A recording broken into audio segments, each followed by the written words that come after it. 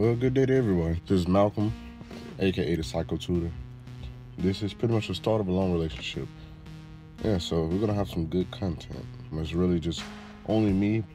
I look forward to possibly doing collaboration with other people as well. People that want to share the same kind of content. I want to keep it simple, just as you may see in the description, half of the or portion of the page. I set it up to where we have things coming up, such as defining ordinary things in a philosophical and dictionary approach, you know, things that you would expect like that. I also anticipate creating um, narratives, and that is going to be very interesting. By the way, I already have an, a blueprint on how I'm gonna execute that, but it is going to be absolutely fascinating when I tell you the least. It is really going to be good.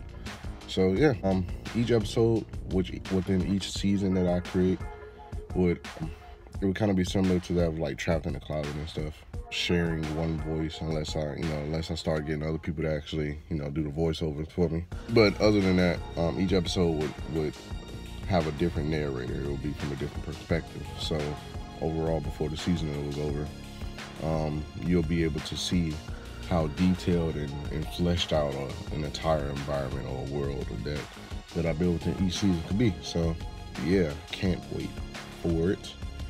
But um, so yeah, this is a a first of many great beginnings, and I, I look forward to not disappoint. So stay tuned. Got a lot of a lot of work to get done, but a lot of fun discoveries to make together. And of course, being that this is also the beginning, I look forward to making quality a lot better over time. But yeah, nice to meet you all. I look forward to speaking to you all in the comment section and as I get my social media, um, you know, started as far as being able to push out more of the content, and I look forward to being able to have that relationship with my audience as well. This is the morning here uh, where I currently am. Y'all have a good day. Peace.